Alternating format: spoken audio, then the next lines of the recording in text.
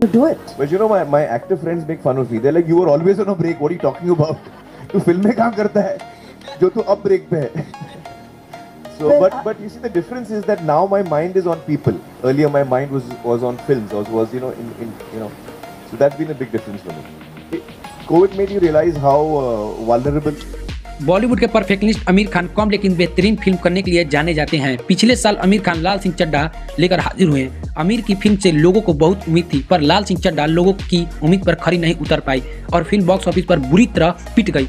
लाल सिंह चड्डा की बुरी हालत देखने के बाद आमिर ने एक कॉन्फ्रेंस किया, जिसमें वह अब पॉज लेने के लिए इसमें बात कहा। आमिर खान भले ही इन दिनों ब्रेक पर हैं, लेकिन उन्हें अक्सर इवेंट्स में स्पॉट किया जाता है। हाल ही में एक बुक लॉन्च इवेंट के दौरान आमिर ने उनके ब्रेक पर सवाल किया गया।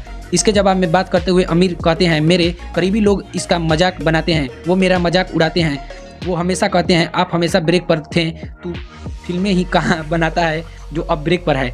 आगे उन्होंने कहा, बतौर एक एक्टर मैं जब फ़िल्म करता होता हूँ तो उन, उसमें इतना खो जाता हूँ कि लाइफ में कुछ और दिखती ही नहीं है।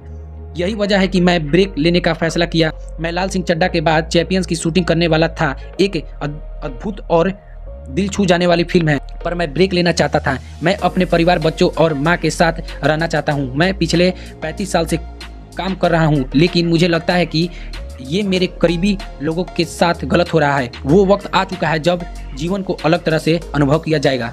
आमिर खान भले ही अभी ब्रेक पर हैं, लेकिन कई बड़ी फ़िल्मों का ऑफ़र मिल रहा है। रिपोर्ट्स के मुताबिक के निर्देशक प्रशांत नील ने अपनी अपकमिंग फ़िल्म के लिए आमिर खान को अप्रोच किया है, जिसमें जूनियर एनटीआर भी लीड रोल में दिखे जाएँगे। इसके अलावा आमिर खान जल्द ही वाईआरएफ की स्पाई यूनिवर्स में शामिल हो सकते हैं। कहा जा रहा है कि शाहरुख खान के बाद आमिर खान स्पाई यूनिवर्स के हिस्सा बनने जा रहे हैं। फैंस को सरप्राइजेस करेंगे।